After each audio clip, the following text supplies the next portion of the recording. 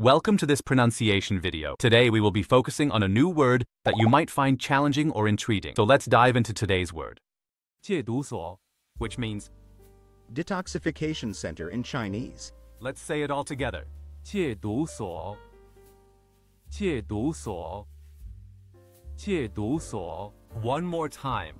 戒毒所戒毒所戒毒所 Thank you for joining us on this adventure in pronunciation. Remember, language is a journey, not a destination. Keep exploring, experimenting, and expanding your linguistic horizons. We'll see you next time.